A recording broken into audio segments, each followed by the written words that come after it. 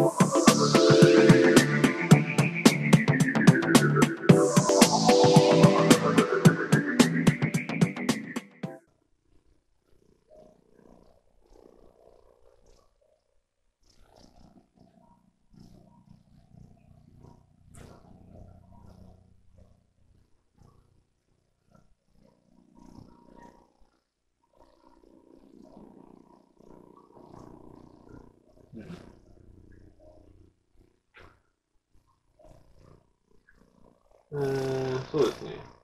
基本的に経済っていうのは、まあ、お金の、えー、入り口と出口。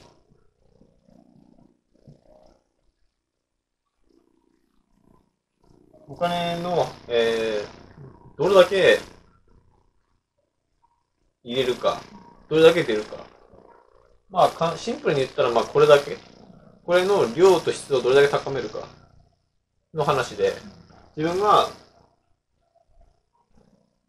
どの程度の経済的豊かさを得たいのかっていうところでよりますね、まずは。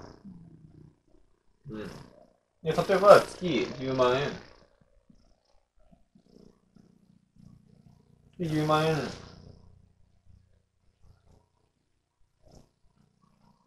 まあ、今のやってるところから副収入が欲しいというふうにするんだったら、入り口を、まあ5万から10万。にして、出口を0から5に。まあこれはもう当然少ない方がいいんですけど、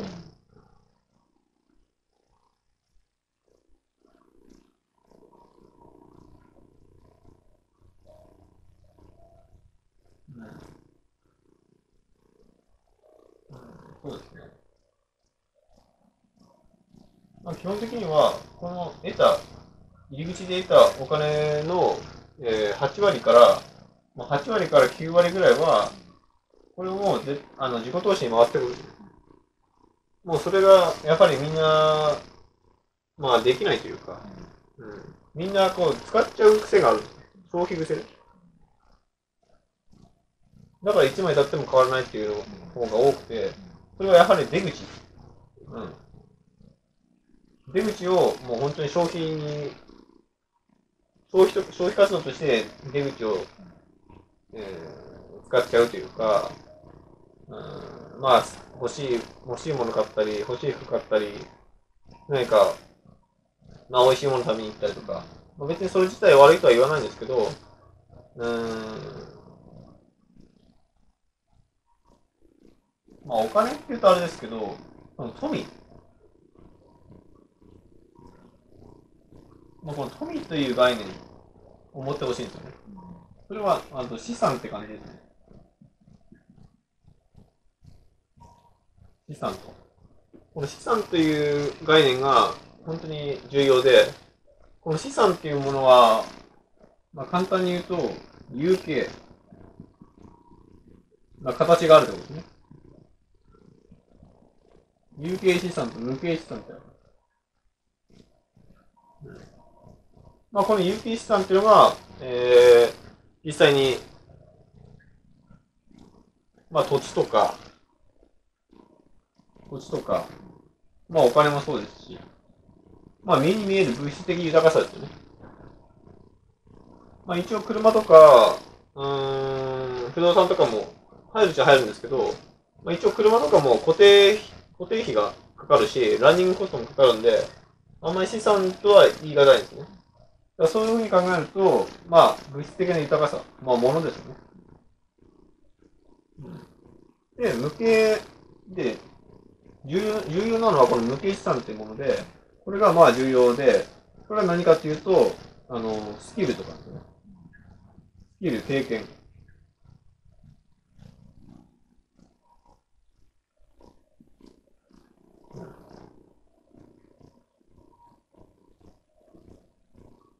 意識。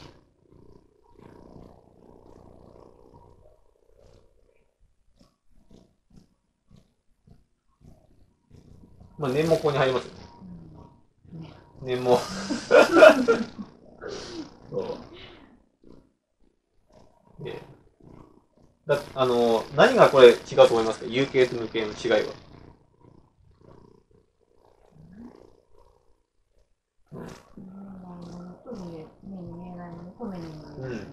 目に見えないもの、目に見えるもの。そうですね。あと、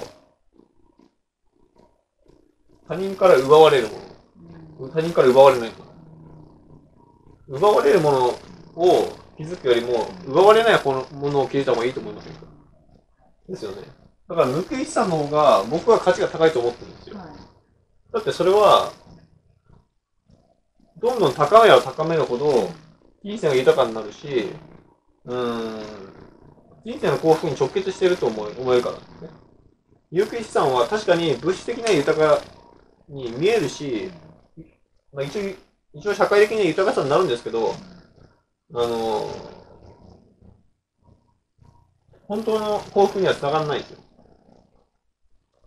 心、経済、健康の3つのバランスを考えていくと、うん、まあ、なくて困るものではないですけど、絶対必須ではないですよ。けど、こっちって絶対必須なんですよ。人生を豊か豊かにするためには。ライフワークのスキルとか、ヘルスケアのスキルとか、まあ、マーケティング、ブランディング、パブリック、このスピーキング能力、全部スキルですよ。あと、こういった経験。うん。まあ、例えば人前で話すとか、出版するとか、うん、まあ、プログラミングするとか、まあ、いろんな経験があると思うんですけど、経験も、単にお金出して速攻変えるわけでもないし、えー、自分が実際に体験して気づくものじゃないですか。あと知識は、えー、得る。まあ、これは本とか学校とかでも得れますけれども、うん、まあ人から聞いたりも入りますよね。知識も奪え奪えることもできる。で、奪われることもない。で、ね、これまあ想念ですけど、人間の、その、思いですよね。思い念じる。その想念を、えー、やはり僕は小さんだと思うんですよ。うん。っていうのも、やっぱりこれって、まあ、僕はもう、想念なんていうのはもう8、20歳ぐらいからもうこれはやってますけど、もうそこからしたらもう13年ぐらい経ってるわけですよ。まあこれは当然その、13年間毎日24時間ずっとやってるかっていうとやってないんですけど、これはもう日々意識するかしないかの世界なんで、あのー、そういったふうにこの、抜け資産っていうのは、時間が、時間が経つほど、その、どんどん増していく。うん。そう。これ時間とともに回すんですよね。時間とともに価値が上がる。価値上がるし、その向上しようと思ったらレベルアップできる。けどこっち有形資産っていうのは逆に時間がかかる、時間が、まあ投資とかすれば当然上がりますけど、あの、基本的には時間かかったら、あの、下がる。うん。基本的に物、物質的なものっていうのは大体みんなそうなんですよね。もう所有した、所有した段階でその価値は下がると思った方がいいんですよ。それはお金の紙幣もそうだし、不動産もそうだし、車もそうなんですよ。絶対新品で買うと、新品で買った、その時点から、新品と同様のお金に換えられないんですよ。絶対中古になるんですよ。だそれはな、なんでそうなるかっていうと、これはもう、あの、所有欲、所有欲を満たしてるから。だから所有欲と、これを買ってんですよ。プラスして。これは所有欲は、つまつまりステータスですね。ステータス。ステータス。他人からよく見られたい。えー、世の中から、うん、まあ、富があるんだと思われたいとかね。うん、こういうものを、物質的豊かさを所有したいという、このステータスが隠れてる。で、みんながの欲しいと思ってみんなこの手に入れようとする。これが経済的成功者。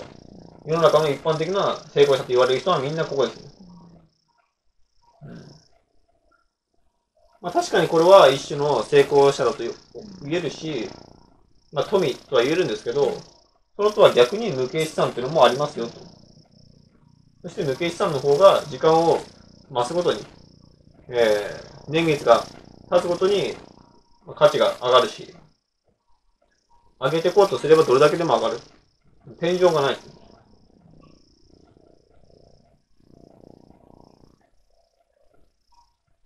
なので、経済のレベルの上げ方っていうのは、当然有形資産を、えー、上げること、無形資産を上げることになるんですけど、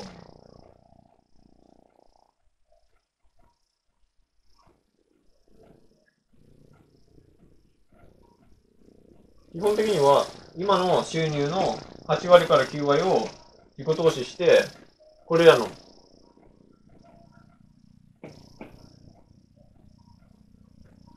スキル、まあ、無形資産ですね。無形資産に投資し、自己投資して、無形資産のレベルを上げる。これがレベル上がると、今度有形資産に変えることっていうのはもう簡単になる。有形から無形に変える。うん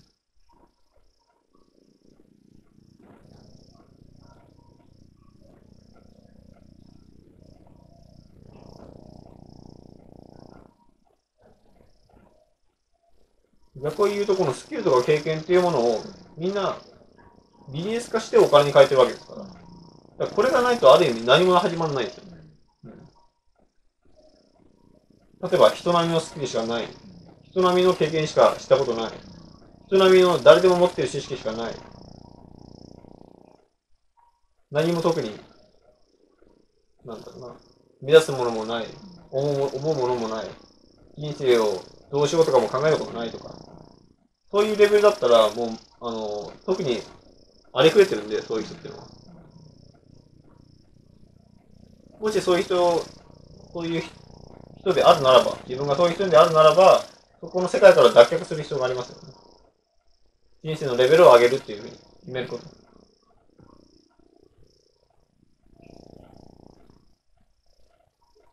うん。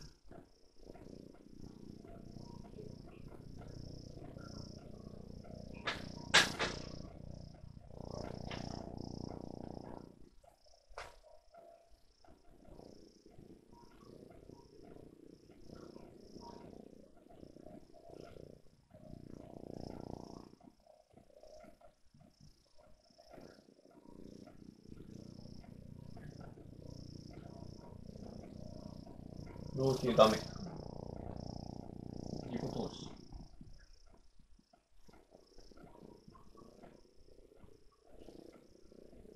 丸。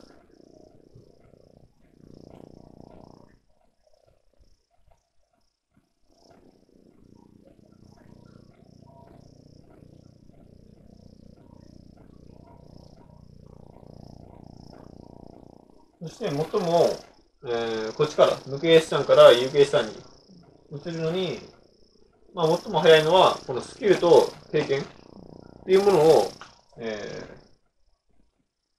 ー、もうこれをコンテンツ化すること。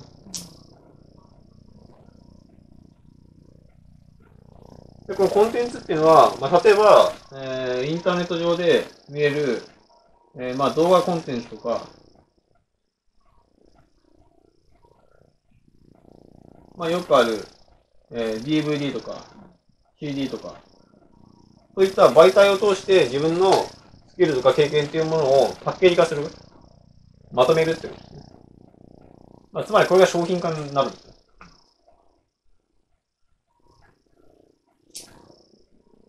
商品化。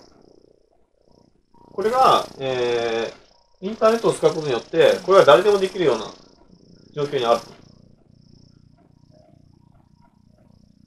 一昔前だったら、えー、実際にインターネットがないときは、目に見えるもの、目に見える有形のものを商品化する必要があったんですよ。それには製造することが必要だし、えー、パッケージ化するのもお金かかるし、それを広告を作って、他人に広めることも大変だし、もうすべてにお金かかってたんですだから、初めの初期投資がものすごく高かったんです。だから前は会社を建てるのに、300万以上ないとできなかったですね。で今はそういうの全くないですよね。というように、誰でもこのスキル、経験、知識、そういったものがあれば、抜け資産があれば、誰でもビジネスができる。商品化することができる。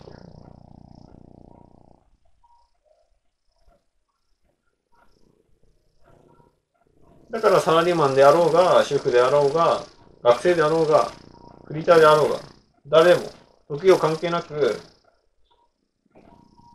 プラス何万も可能だし、100万とか、200万とか。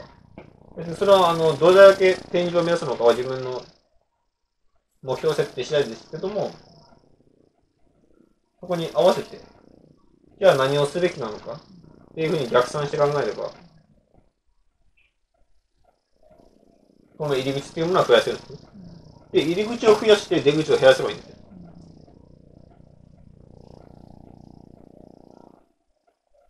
これはやはりもう、どんな成功してでもみんなこういうふうに思うんですね。入り口をどんどん増やして、あのー、出口を少なくする。だから、あのー、成功者はほとんどケチなんですよ。あの、本当に無駄遣い絶対しないですよ、これ。まあ、稀にギャンブルとか、あのー、キャバクラとか、まあ、そういうところにお金を使う成功者、物質的成功者って大体そういうふうにしますけど、うん、まあ、僕が思ってる、その、僕が考えるその真の成功者っていう人は、心、経済、健康、健康、取ってる人は、そういうのやんないですよ、一切。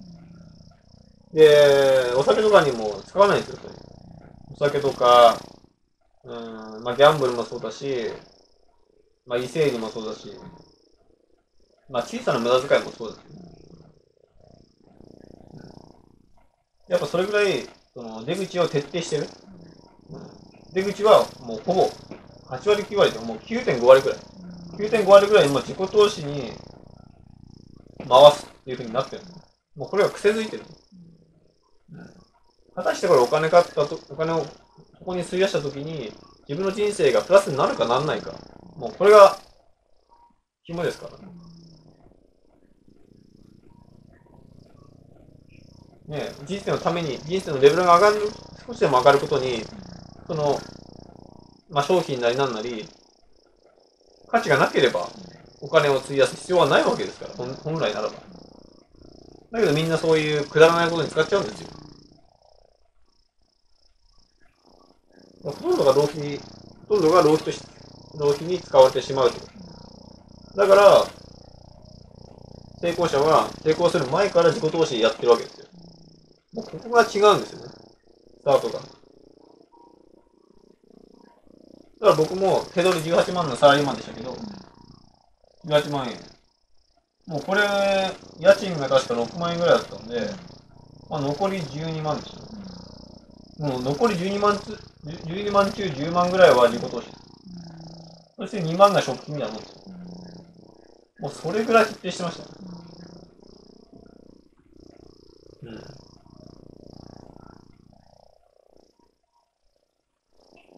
ん。で、この10万をどう使うかになりますよね。で、まあ僕の会社の上司とかは、この10万円、10万円を1日のキャバクラとかで使っちゃうわけです。で、もうお金ないとか言って、まだ月始めなのに、食費2万円でどうしようかと悩んでるんですよ。やばいですよね、相当。僕ら、僕とかはもう本当にそういう上司見て、いや、本当に、そういう人生は本当にやばいんじゃないかって、まあ口で言わなかったですけど、まあ思いながら、サラリーマンやってました、ね。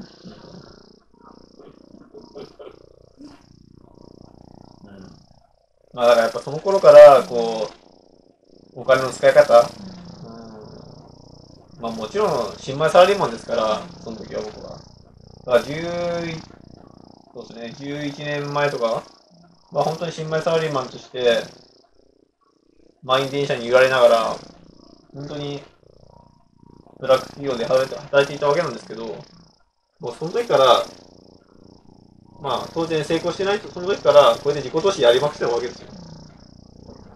で、この2万円とかで弁当を作って、会社に持ってって、それ弁当食べながら、サイト作ったり、自分の未来の企業の後の準備とかしてるわけですよ。そんなの分かんないですよ、みんな。外食行って、1500円ぐらいのランチ食べて、食器をガンガン削って、で、ピーシクパーシク、あの、上司とか同期とかと飲み会やって、飲み会の5000ですら消してますから、僕。もうその時間無駄だっつって。ねえ。こんな飲み会毎週行ったら2万なんて簡単に捨てますよね。もう極論言ってしまうともう食費すら削って、こっちに加算して、で、その、経営者の交流会とかに行くとか、そんなことやってましたね。それも5000円とか1万とかするんで、で、大して飲み食いできないんですよ。確かに。うん、だからいつもはもうお腹空きながらやってるっていう。うん、まあ、それくらい貪欲だったら、あの、うまくいかないはずがないんですよね、逆に言うと。だってみんなほとんど老金使ってば、使ってるわけですからね。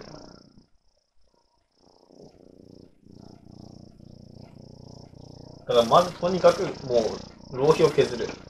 もうケチになる。まあ、ケチになるっていうか、必要じゃないものを買う必要はないってことです。だから必要なものってのはこれ有形だと勘違いしてるわけですから。有形資産じゃないわけですよ、ほとんどが。ね、お菓子なり、ジャンクフードなり、お酒なり、タバコなり、ほとんどここですよ。もう、む、あの、いらない浪費です。タバコなんて年間にしたら何十万もかかってるわけですよ。毎日吸ってる人は。で、それでいて健康を害してるわけですからね。意味わかんないですよね。ほんと。ヘルスケアのレベルが高い人からすると、今度頭おかしいんじゃないかって思うぐらい。ね、ジャンクフードも行列に並んで、今、早く、なんか、買いたいみたいな。お腹空いてて、早く爆食いしたいと思ってる人がもう、ね、相当頭おかしいんじゃないかと思うぐらい、になりますよね。まあまあ、これを聞いてる人はそんな頭悪い人じゃないと思うんで、あれなんですけど、まあ基本的に経済のレベルの上げ方は、入り口を増やして出口を減らすと。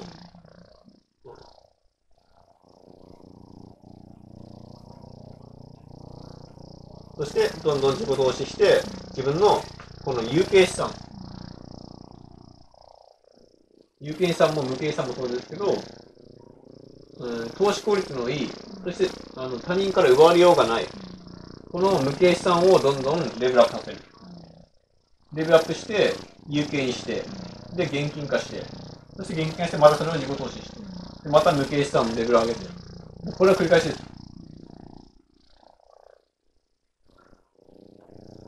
まあ、例えば有形資産、あのパソコンとかもそうですね。パソコンとか、まあ、スマホもそうだし、まあ、こういったものも全部自己投資なんですよ。使え、使えば。うん。で、やっぱり、あのーまあ、パソコンとかスマホとかって高いじゃないですか。まあ、何十万ってするわけですけど、まあ、10万から20万とか。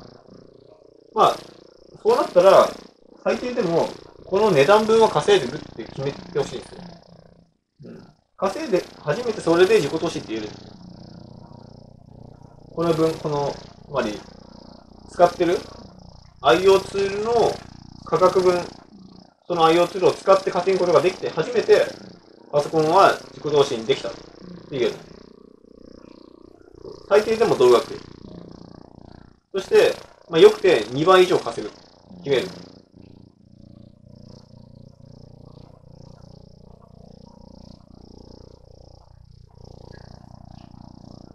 だ僕はあの、Mac のパソコン45万円しましたけど、僕はあえてスペックが高い45万円を買ってるんですよ。内容の、あのー機能が高いものをあえて。で45万のやつを買って、あのー必ずリターンを得ると確信して、まあビジネスを始めるわけですよ。そして、100万円とか、200万円とか稼ぐわけですよ。そしたら当然ペイできるわけです。45万ですと。だけど、初めから、その確証がないですよね。100万とか200万とか。うん。企業ってそういうもんなんですよ。未来に確証がないものを、えー、得よう、得ようと絶対得る、得るって。それが起業家の想念ですから。起業家の思い。があって、それが強く思い、思って、そして行動に移すから、この愛用ツール分は、ペイできるようになるんです。その期間はやっぱ人それぞれ、その、本のレベルも違うし、この抜け資産のレベルも違うから。一律とかっていうのは言えないんですけど、人人それぞれ違うんですけど、みんなそうですね。未来に可能性をかけて、みんな自己投資に回すんです。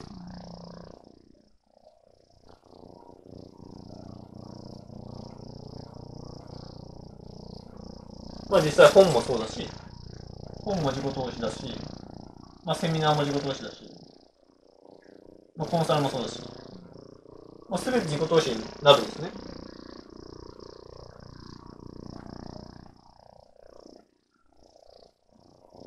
そして、こういった自己投資をして、抜け資産、このレベルを上げるんですね。うん。で、今で言うと、やはりインターネットを使った商品化が、えー、誰でも基本的にはできる。パソコンでキーボードで打てて、えー、クリックさえできれば、基本的にはみんなデジタルコンテンツができるんで、それでビジネスを行うと。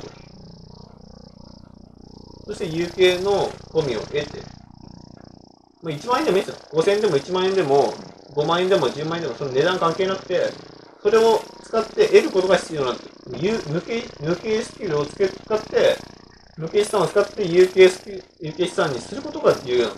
ここの間が。この間が重要なの。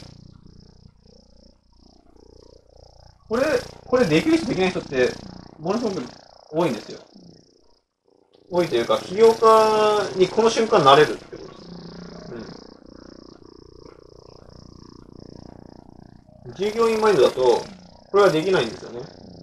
やはりみんな、その時給であの雇われるっていう感覚が、やはりみんな多いので、サラリーマンも月給いくらっていうふうに契約してやってるんで、ここに、あの、時間ってないんですよね。時間、時間は、まあみんな平等なんで、あの、まあここで言う富ではないんですよ。だから時間をお金に変えるっていうのは、もう従業員マインドです。そうじゃなくて、スキルとか、うん、あの、充実した中身ですよ。充実した、時間を使って充実した何かに変えたこと。それが、それを有形資産に変えること。それがビジネスですね。うん。これが起業家のやる、やってることだし、うん。あ、これも基本的にはもう普遍の法則ですね。何？うん。もう昔からあること。まあ、昔はこういう DVD とか CD とかなかったんで、カセットテープとか、ビデオテープとかでしたけど、結局コンテンツっていうのは何も変わってないです。で、今後それがデータになっていくだけです。MP3 とか、MP4 とか。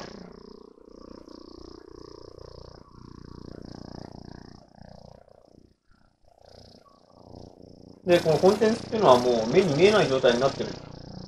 データになってるんで、原画がゼロってことだ。これ DVD とか使うにし作るにしても、あの、DVD ロムとか1枚、最低でも何十円とかしますから、それがかさばったら、本当に原価かかるわけですよ。僕も大量生産して、あの、100万、200万円とかって、外注で作ったことありますけど、それでもやっぱ何万円ってしますから、原価だけでも。それを、まずペースので売らなきゃいけないんですよ。それ考えたら、圧倒的に今の時代、インターネットを使ったデジタルコンテンツっていうのは、もう本当ありえないですよね。0円ですからね。作るのも0円だし、えー、販売するのも0円。こんなんありえないビジネス。かかるって言ったら、あの、クレジットカードの手数料くらいですよ。それ言っても本当に何パーセントとかそういうレベルなんで、95%以上利益。もうこんなビジネスありえないんですよ。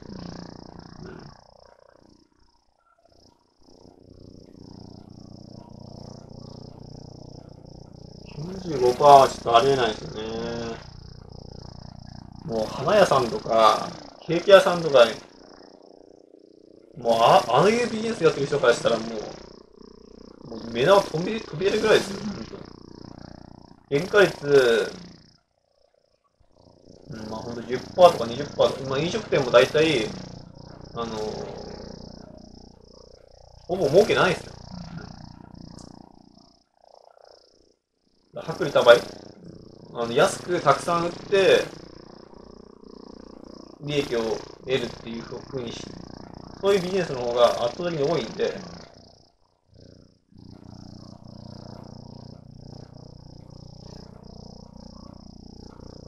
からこういう可能性が広がっている以上、これを使わない手はない。まあ、これこそが、なんていうか、現実、現実？確実な道であって、うん、まあ特に資格もいらず、誰でもできて、まあインターネットとパソコンとスマホがあれば、まあできない人は基本はいないんじゃないかなと思います。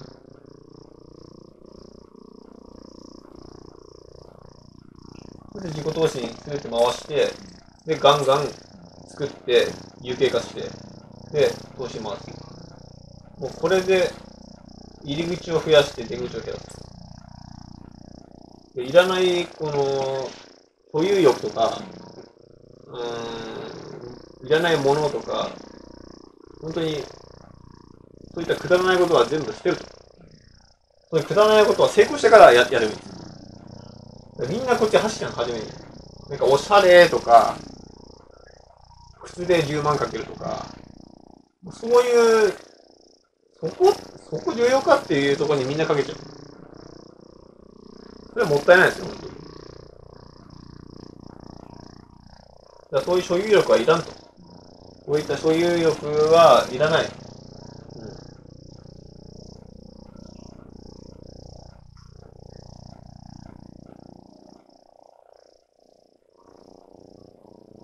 だから本当の世界ってもう見た目地味ですよ。全然。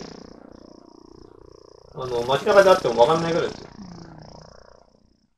で、逆に、物質的成功者っていうのは、着飾るのが大好きなんで、もう見た瞬間分かるんですよ。もうギラギラ感満載で、とりあえず見た目金持ちだって思わせたいから、見た目金持ちだと思わせるような見た目するわけですよ。まあ、それで幸せならいいんですけどね。っていう話。まさのその幸せの定義が人それぞれ違うし、まあ僕はやはり、まあいろんな成功者見てきて、経済だけではないなっていうのは確信してるんで、だからこういう考えになったわけですけど、うん。まあぶっちゃけ経済、経済的成功者が、本当に人生の成功者だとするならば、もう健康とか心とか捨てたっていいわけですよ。したら早いですもん、絶対に。うん、それだけするなら。だけど、それは短期的に終わるって分かるって分かってるから、それじゃ意味がない。まあ、ふ太く短く生きるんだったらそれもいいかもしれないですね。早く死んで。早く死んで、あの、誰からも特に感動されずに。ねえ、そしたら本当に心と経済、心と健康のステージは捨てて、経済的、物質的、有形資産だけのみ集中して、ねえ、ジャンクフード食いながらやればいいと思いますけどね。で、どんどんブクブク太って、で、車の、あのランボルギーニとか乗って、俺は成功者だぜ、つって。酒飲みながら、まあですかねっていう。ねえ。虚しいですよね。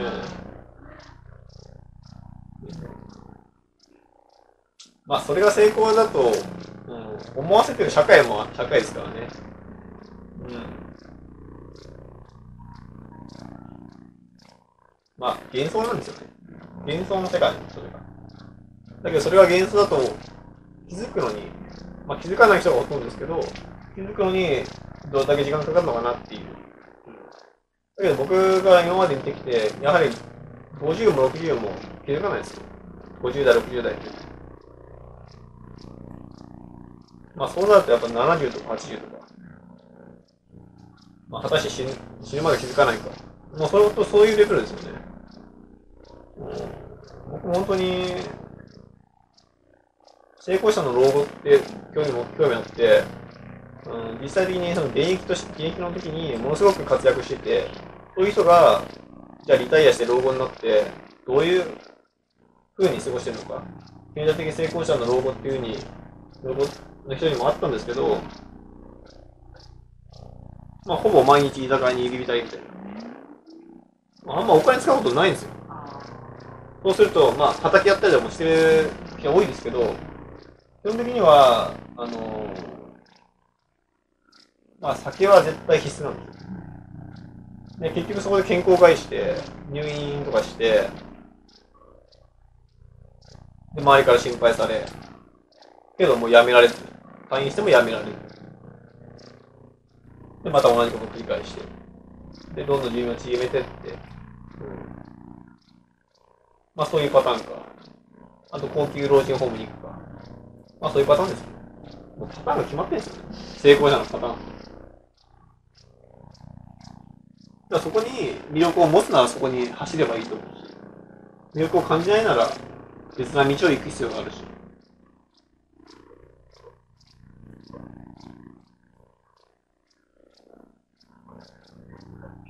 まあ、本当の人生の富とは何か。人生の本当の資産、幸福とは何か。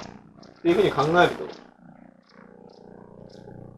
自分はどういうふうに経済の入り口と出口を作るのか。っていう考えがものすごく重要だと思いますね。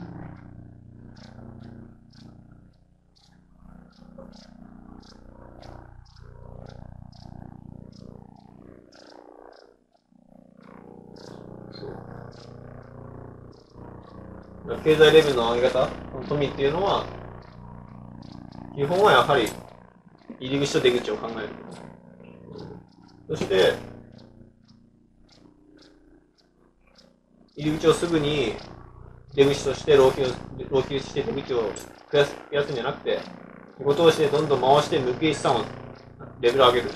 で無形資産を作って、そこで企業、ビジネス化して有形資産に変えると。その有形資産をさらにご投資します。それの繰り返し。これはやはりもう僕もそうやってやってる、やってきたし、うん。それが最も早いですね。投資効率がいいって言うんですけど、最もそれが無駄がない。ほぼ。ほぼそこに。